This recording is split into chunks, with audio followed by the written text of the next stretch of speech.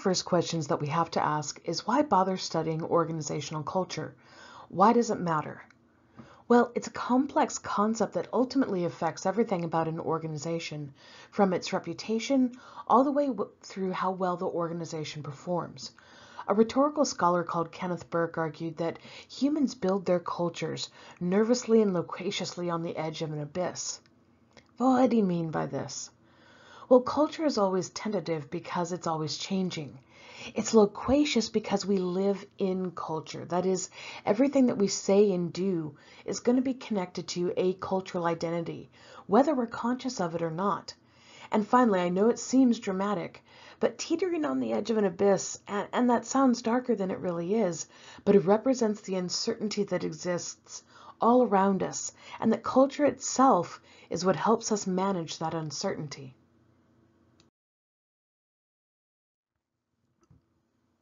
It would be really easy to stay philosophical about culture because there's a lot to talk about. But when we're talking about it in an organizational context, I think it's also useful to be very practical. So when we start to answer this question, why study organizational culture? There are several reasons from a pragmatic perspective that we should do it. First, it helps us to cope with uncertainty. Like I alluded to in the setup for this, everything around us is swirly, is uncertain, is, is awkward.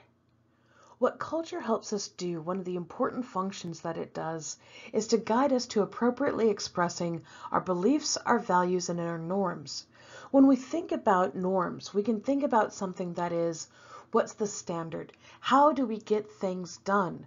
And within an organizational context, this helps everyone to be moving forward to a much more specific set of goals. And this is where organizational culture can differ from a broader discussion of culture. So when we're talking about norms, we can talk about them in terms of certainly what's forced, what what we have to do within an organizational context, and also what we want to do in that organizational context.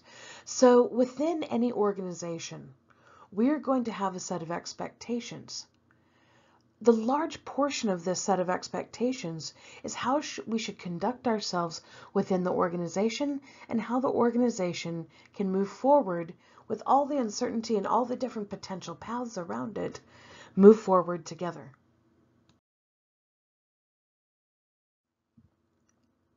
The second reason that we study organizational culture is that not only does it help us cope with the uncertainty through offering norms, expectations, and really a way of moving forward together, but in doing so, that helps us manage the chaos. That could be the chaos of people interacting with different sets of expectations, or simply the, the sheer weight of having to cope with the external world. So in a very, very tangible way, Culture gives us a way to separate ourselves from everything outside the organization and then focus on a plan to move forward and to cooperate, collaborate, and achieve very specific organizational goals.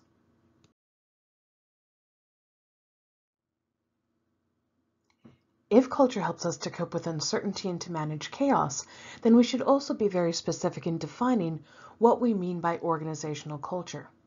And Beyer, uh, to the founding authors in the study of organizational culture, define culture as a social system arising from a network of shared ideologies consisting of two components, the substance or the networks of meaning associated with ideologies, norms, and values, and the forms or the practices where the meanings are expressed, affirmed, and communicated to and by the members.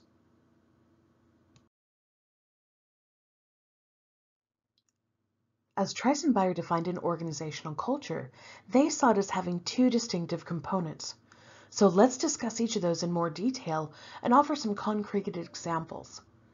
The first component was the substance of an organization's culture, which they also referred to as an organization's ideology. They argued the ideology reflects the organization's shared system of beliefs, values, and norms.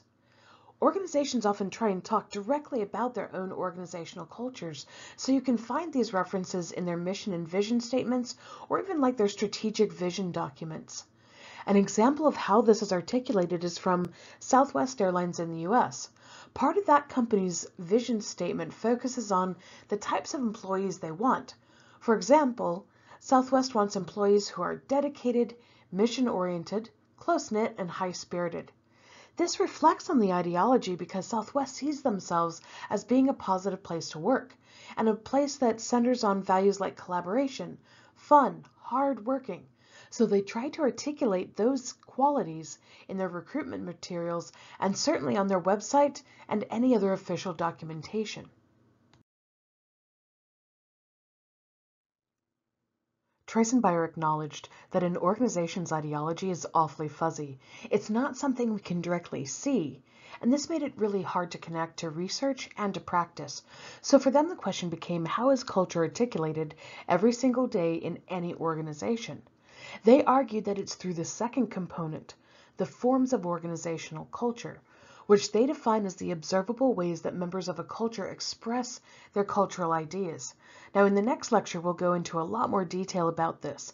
But if we go back to Southwest Airlines, the question would be, what does a company do to create a collaborative and positive organizational culture? There are a couple of examples that I think really show off what Southwest is about, at least from an employee's perspective. First, once a quarter, the management actually comes out of their offices to do some real work. They work as baggage handlers, ticket agents, and even attendants. The founder of the company, Herb Kelleher, believed that it was important for management to always be connected to the real work that gets done in a company. For him, there are both cultural and practical reasons to do this. On the practical side, it helps a company to understand what's working and what's not so that managers can make better decisions. However, from a cultural side, it has a lot of benefits. First and foremost, it breaks down the barriers between levels of the organization's hierarchy. Based on research done in the company, it made the employees feel valued and meaningfully connected to the company. Second, apparently it was always good for a laugh. The stories of managers working for a day were a rich source of humor and socialization within the company as it was told by their employees. So it sets this tone for positive engagement all the way up and down the chain. The second example of a ritual for Southwest is that in their at their headquarters in Dallas, Texas, every Friday there's a barbecue, and anyone who happens to be working in Dallas that day is welcome to attend. It's one of the ways that they give back to their employees, and it's certainly part of a larger package of things that the company does, but it sets a nice tone. It also is quite a relaxed tone. This isn't a formal meal. This is something that's nice, it's relaxed. Dallas is pretty warm, so it's outdoors. This sets the the illustrations of how positive, how collaborative, and fun the company sees itself being. So when we take a look at an organization, if we look for the everyday, we can start to see what kind of company it is. And when we do this, we're talking about the forms of an organization's culture and the degree to which they're consistent with the ideology that the organization espouses.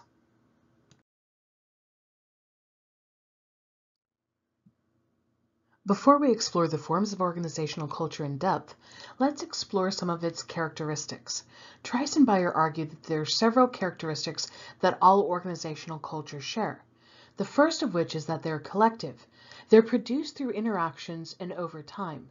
So while leaders and influential individuals within organizations certainly can affect and help sh to shape an organization's culture, it's through the everyday through routine interactions, through events that happen, and, and across time that organizational cultures really form and are developed. That's why we can think of them as collective in nature.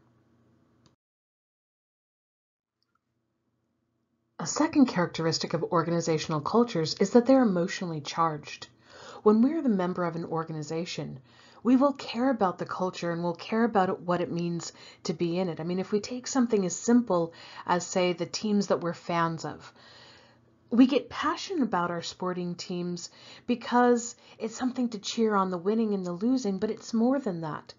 If we are properly in, ingrained within that organization's culture, within the fan culture, We care about the players, we care about the way that it's played, the ethic of the team, all of those kinds of things. Now, if we bring that back out to other types of organizations that we're involved in, even our work organizations, we end up caring a lot about what goes on in the organization, not just because it's the work that we do, but it has implications in terms of our attachment and our identification with. So, for example, employees who have a high level of identification, that they feel that emotion about their organization, they'll work harder for it. So it's to an organization's advantage to create an environment that people genuinely care about their organization in. The more they care, the more that they're going to work for that organization. So there's a practical side of having the emotional charge in there, but there's also just the reality that we spend a lot of time within the organizations that we work for and are members of. So we end up coming to care about it.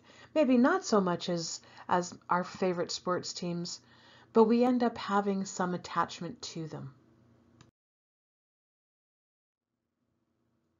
Third, an organization's culture is historically based. So when I was talking about it being collective and also being emotionally charged, this isn't something that happens overnight, but begins with the organization's founding and is developed over time. I think one of the most interesting case studies in this is Disney. So when Walt Disney created the company, he was thinking of the happiest place on earth with Disneyland and also with creating the, the animations for kids, but it was all about the outside, that people who saw the movies, who came to the parks, would have this amazing experience, that it was incredibly positive, all of that. What's interesting though is over the years that didn't always translate into what it meant to work for the organization and that there were periods where there's actually quite a bit of, of challenge workers rights issues within the Disney Corporation. However, if we look at the Disney Corporation today, in the United States, it was one of the first employers to offer same-sex benefits. It has been a place that is consistently well paid over the last 20 to 30 years. Um, and generally speaking, in trying to create the happiest place on earth, what they have identified was that the organization inside needed to match the organization outside.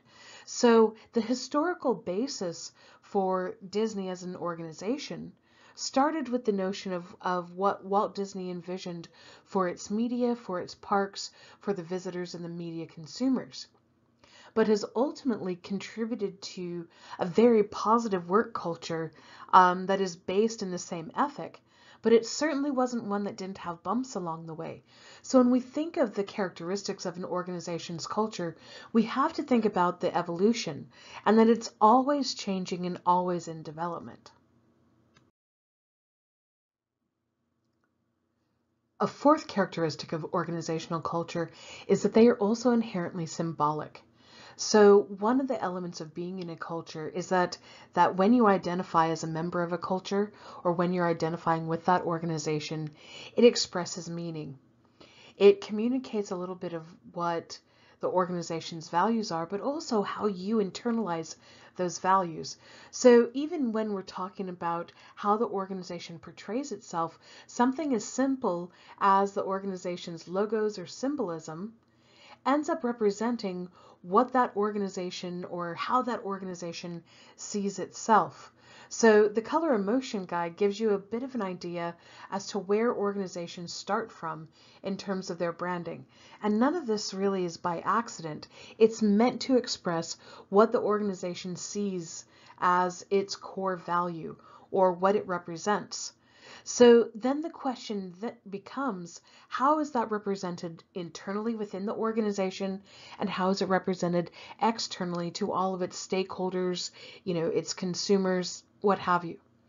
So part of the challenge in understanding, evaluating, and engaging with organizational cultures is asking about that the symbolism within that organization, what does it reflect? What meaning do you get when you're a member of it?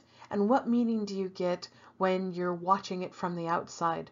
As much as possible, those types of visions should match up. the symbols that an organization presents for itself should resonate both with the employees as well as to the external stakeholders. The fifth characteristic of an organizational culture that it's dynamic shouldn't be surprising given what we've already been talking about that it's collective, historic, emotionally charged, and symbolic. Because of all of these things, different people interacting over time, it means that cultures are constantly going to be changing. Um, and there are several reasons that this is true. First is that communication is imperfect. Even when I'm trying to explain what it means to be in an organization, if I'm a member of that, and I'm trying to tell a newcomer, you know, what's it like being here? People, what I say may not be the way that people take it. And then people will have their lived experiences within that organization and they come to different conclusions or there might be a slightly different meaning that's put on that. Second, over time, behavioral expectations may vary. I mean, even if we think about the difference of work in 2019 versus 2020 versus 2021 and beyond, we can see that what the ways that we're expecting to interact and engage in organizations is something that can be affected by world events like pandemics, but it can also be affected by just changing operational realities independent of any major crisis going on. So as behavioral expectations change, the organization's culture is changing. But one of the reasons that it's dynamic, that it constantly changes, is that it's often taken for granted. We may all use and recognize a symbol for an organization, but that doesn't necessarily mean that we all interpret it the same way. So I may take for granted what I think the organization that I work for is about. But if someone else works in the same right alongside me day by day, week by week, they may come to a very different conclusion. And so part of the prevalence of symbolism is that meanings are imprecise, that there isn't a rule book for what an organizational culture is. Now, I know that a lot of organizations will try and talk about their organization's culture, like the example from Southwest Airlines. But how that's personified, applied, and then comes back out to employees, to consumers, to any stakeholder isn't necessarily guaranteed. So because it's symbolic, it means that that meaning is imprecise. And finally, one of the reasons that cultures change is that when new people come into an organization, they always bring the cultural baggage, and that can be good or bad, of their previous organizational experiences. So if you're talking about how people come in, how even generations come in to work for organizations. They're going to be bringing their expectations, their interests, the the ways that they have experienced work, or if they haven't experienced work, their ideal vision of how the work goes. So these are all bags that we carry with us from organization to organization, and that especially can have influence on how we do our work, what it means to be in the organization, how we relate to one another. So for all of these reasons, constant organizations are constantly in flux in terms of their culture and what it what the fundamental experience we all have in them.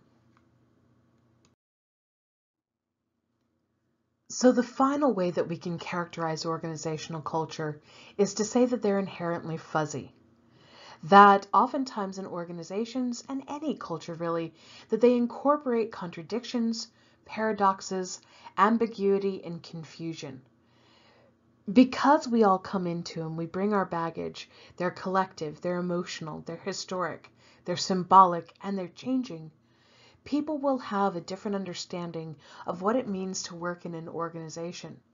So you'll see this at different layers of an organization if it's very hierarchical. You'll also see it in different job functions within organizations. So the more and more that groups are left on their own to interact and to do the carry out the work that they do, you'll see distinctive subcultures or co-cultures develop. So this means that that in one group, let's say in the management group, uh, the organization's culture may may have a very different kind of meaning than it might in HR, communications, and sometimes they're not always compatible. So even within an organization, you'll find that there will be some kernel of consistency, but how they're implemented, how people's experiences are. You can't generalize to, to the whole culture without taking a look at the smaller functional groups within an organization. So when we say that they're inherently fuzzy, they're like any culture where you will have different groups with different experiences, and all of that comes together to represent the organization. So in as much as there can be ambiguity and confusion, that is simply one of the characteristics of what it means to be in any culture, let alone an organization's culture.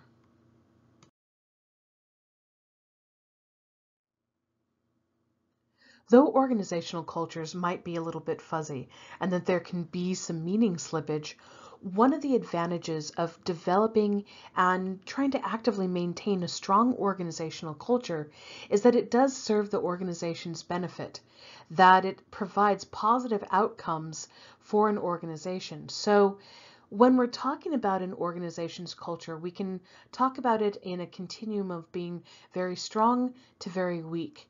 And so when we're talking about the stronger organizational cultures, we can take a look at the different types of outcomes from those stronger cultures. The first outcome is that they help to manage collective uncertainty. So we have we have been in a year of uncertainty to this point, and we will continue to see uncertainty. And, and, as a matter of fact, the last 10 years for most organizations have carried a lot of uncertainty, more so than you could probably find at any other point in history.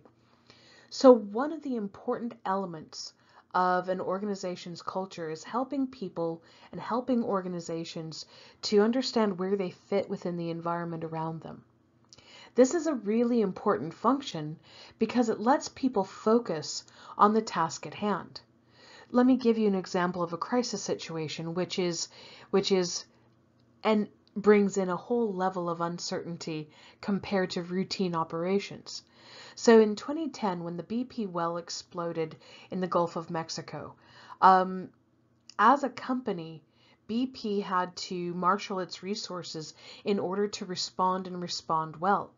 One of the challenges that the Chief Financial Officer Brian Gilvary talked about when he was talking about his leadership experience was keeping his employees focused so that they could free up the money that allowed BP to respond. Now, obviously, that meant moving resources, working long hours, all of those kinds of things. So the degree to which he could reduce the uncertainty for his employees to work and to let them focus, that meant that they were more effective. That also then had the ripple effects of allowing the company to respond better to the crisis over the months that, that the explosion in the oil flow went. So in organizations, if you have a strong sense of the culture within that organization, it helps when there punctuated periods of actual crisis, but also to cope with fluctuating environments, economic crashes, economic gains, all of the things that have come to be sort of the state of typical affairs within organizations. The stronger the organization's culture, the more that people have to hold on to. So managing collective uncertainty is probably the most important outcome of having a strong organizational culture.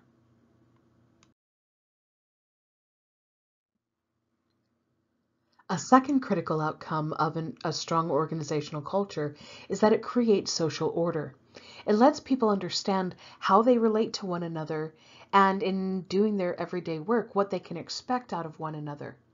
Now, of course, this can become oppressive, and when it does, then that doesn't create a positive outcome. It actually can can work against the organization. But in typical organizational settings, the social order lets people very quickly slot in to their job tasks, their job functions, know what's expected of them, and also know how they're supposed to react and respond to their colleagues, to their bosses, and so on. One of the things we have to do when we're newcomers to an organization or when we're young workers, so it's our first or second kind of job, is that we have to figure out what the social order is in our profession when we're young, but also as we get more experienced and change jobs to understand what the social order is within any organization. And that's something that ends up being relatively unique to the organization. Across industries, there might be commonalities, but each organization will have its own kind of a social order. And this is one of the important outcomes of an organizational culture. Strong organizational cultures do have stronger sense of social order. But again, you always balance that against too, too much conformity and too many pressures for social conformity. A third important outcome of a strong organizational culture is that it creates continuity. My favorite analogy here is to think of a bucket of water. If you put a cup in and take some out, do you leave a hole in the middle of the bucket of water? Of course you don't. It fills in. The volume may change. Likewise, if you pour a cup of water in, it changes the volume, but it doesn't change the bucket of water. An organization's culture functions in much the same way in creating continuity. So even though people may change, and of course we know that over time this changes the organization's culture, it gives something to hold on to. So the stronger the organization's culture, the less impact any single person coming and going might have. This lets people react and relate to one another, so it helps to support the reduction of uncertainty and maintaining social order. That's another function, is that continuity across time, and certainly across changes that might happen within the organization. That's an important outcome of a strong organizational culture. A fourth important outcome of a strong organizational culture is that it creates a shared identity and commitment to the organization. So let's take a quick step back and ask what creates an identity? So identities, and, and we will carry with us many identities over time. You may carry an identity based on your religious affiliation, your national culture, your regional culture, your occupational culture. So every person has multiple identities that matter to them. And how are these formed? Well, they're informed by our choices, they're informed by our values, our beliefs, our appearance, our ethnicity, our practices and habits, our work and hobbies, our friends and family, our interests, our objects and possessions that matter to us, and our creations. So this is why we will carry with us multiple identities. Each one of these may contribute to a different aspect of our identity. So within an organizational culture, if you have a strong organizational culture, there will be especially targeting the values, the beliefs, the appearance, the interests, and the creations, plus the practices and habits.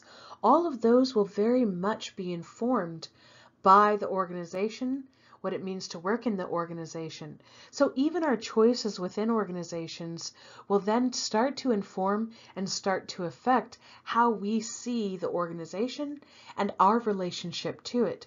So if you have a really positive organizational culture, you end up seeing the culture as very similar to you, that the organization personifies a lot of the values that you may have and that the way that your colleagues work, the way that even the the things you produce.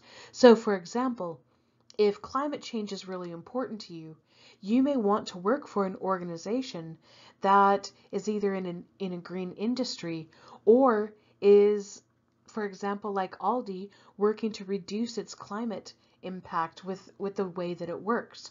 So it's not only in how we seek out organizations, but it's also in terms of the organizations that we work in, how we choose to inform the work that we do, and even how we can influence the organizations that we work in. So if we have a strong identification with our organization, it'll be that we have a lot of points of interest with our own personal identities in common with how we see the organization functioning. So that's a strong benefit because you end up with employees who are committed, to the mission and employees who are committed to the work that the organization is doing. So it's an outcome that ensures job satisfaction and ensures reduces um, employee turnover.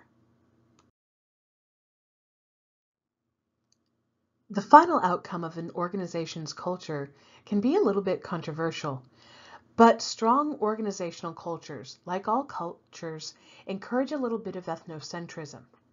Now, before you think in terms of some of the bad outcomes of ethnocentrism that we typically talk about, things like prejudice, discrimination, those kinds of very real outcomes of ethnocentrism, let me put it slightly differently, that ethnocentrism, generally speaking, is about a belief that the organization that you're a member of is good, and actually that it that there's something you value in that organization above and beyond other organizations like it.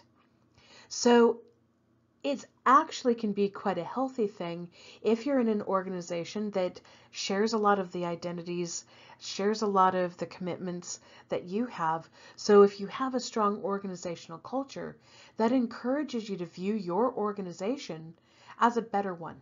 Now, that also means then that you're probably going to have, and it reinforces that identity and commitment. On the negative side, it can actually influence groupthink so that you sometimes can get blinded by the organization and the belief in the organization to the extent that you aren't critical about what the organization is doing. So ethnocentrism in and of itself does isn't positive or negative. It's what you do with it. So in terms of an organizational setting, I think that a strong organizational culture promoting the strong identification, promoting the notion that your organization has value is in and of itself quite positive. It's just that we have to be vigilant and, and guard against the negative elements. So that would be the prejudice, it would be the the bandwagon effect, so the lack of critical reflection about the organization and its place. But in and of itself, it is just something, it is an outcome of the organization's culture. So when we look at this portion of the lecture, We've defined the substance as being both the ideology and the forms, and then we've looked at the characteristics of an organization's culture as well as its outcomes. So from the conceptual side, hopefully this starts to give you an idea about the importance of an organization's culture. In the next podcast, we focus on the forms, so the how do we see it, touch it, taste it, feel it kinds of elements.